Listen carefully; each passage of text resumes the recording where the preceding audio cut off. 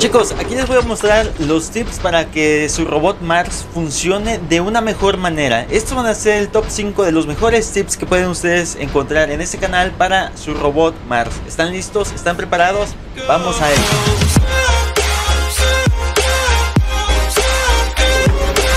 Y bueno gente, en el primer tip que tenemos el día de hoy sería para el escudo del robot Mars. Sabemos muy bien que este cuenta con un escudo aerodinámico mucho mejor y superior que a los demás robots que están este, actualmente.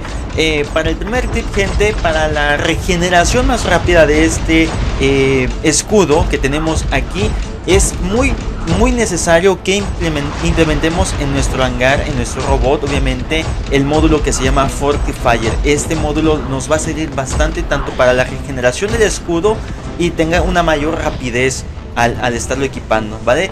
Mejora la durabilidad de todos los escudos y aumenta la velocidad de regeneración de los escudos de energía.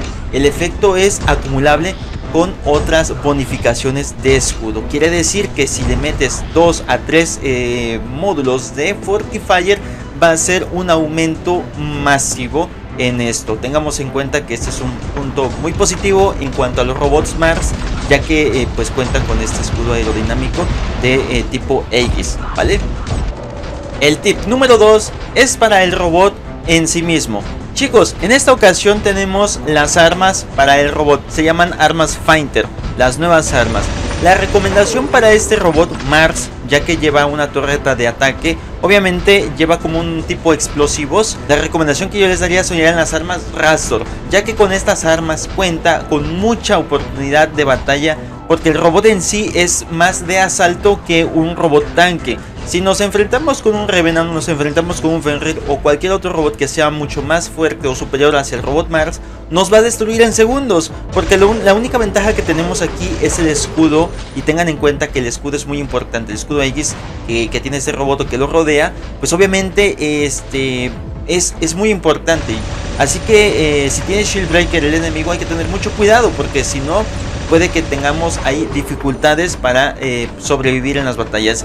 Eh, la recomendación de estas armas serían las Rasdor, ya que pues al esconderse o al estar encubierto obviamente tenemos eh, esta ventaja de poder dispararle al enemigo inclusive a 500 metros. Ese sería un tip también muy importante al llevar la equipación de robot Mars con las armas Rastor. El tip número 3 está dedicada para la torreta. Mars tiene una habilidad muy muy especial sobre todos los robots que tenemos ahorita en el campo de batalla o los que ha sacado de momento Pixonic.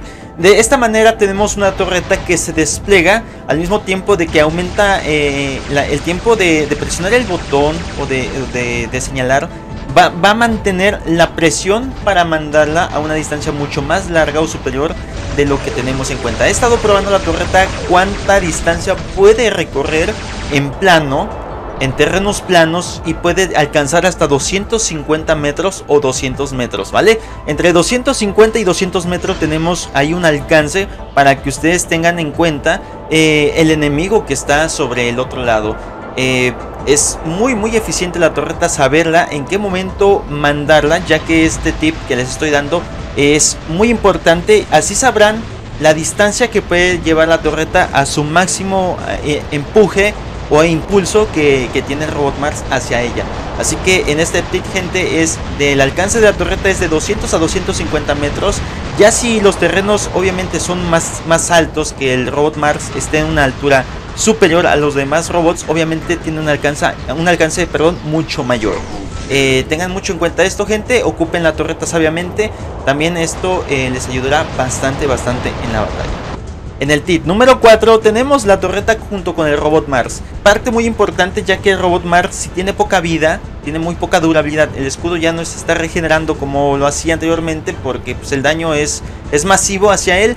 Eh, la única manera para podernos escapar es activar la torreta sin necesidad de impulsarla más lejos y así podamos nosotros evadirla. Mientras la torreta está haciendo su trabajo en disparar al enemigo, el enemigo se va a distraer y, es donde Mars puede escapar en ese momento porque tiene un 30% más de velocidad sin tener la torreta este, eh, junto con él. Así que desplegando la torreta hacia el enemigo, obviamente este es un punto muy importante porque Mars es un robot evasivo y puede escapar sin ningún problema de los enemigos.